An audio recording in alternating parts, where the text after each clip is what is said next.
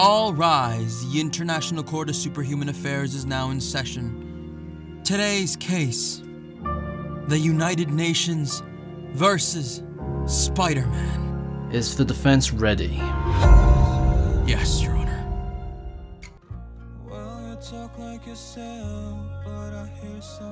What's wrong, Parker? It's more like what isn't wrong. The court ruled to have Edith and all my suits taken away. Jameson has managed to turn half the city against me. My best friend hates me. I, I can't even be there for my girlfriend. Honestly, I don't know how it can get any worse. Oh, Peter, my dear boy. If life has taught me anything, it's that it can always get worse. Ugh.